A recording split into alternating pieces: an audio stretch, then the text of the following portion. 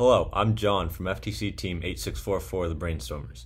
In this video, we will talk about some ideas for completing various missions in this year's FLL Replay Robot game, based on some solutions we have developed in previous year's games.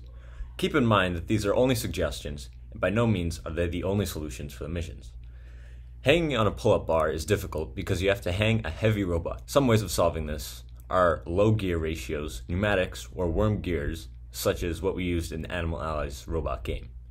As you can see here in this clip, the worm gear slowly pulls up the robot and holds it in place.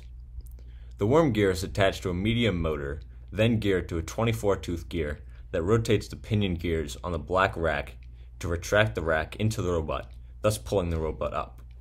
Completing the weight machine requires a lot of downward force applied from the robot.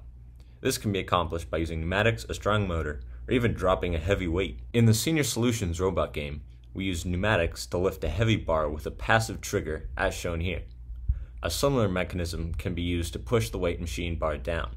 The advantage of using pneumatics is causing movement without using a motor, but it requires some setup before the match.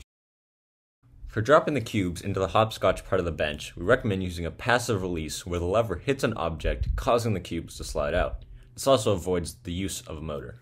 In the Hydrodynamics robot game, we used a comparable device to release the raindrop into the top of the flower. The top of the flower causes the drop by hitting the lever and tilting the device. Hopefully this gave you some more ideas on how to tackle these missions.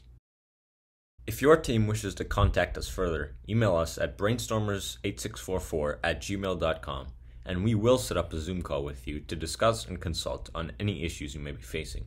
We will be conducting these Zoom calls for the next few years, so please don't hesitate to reach out.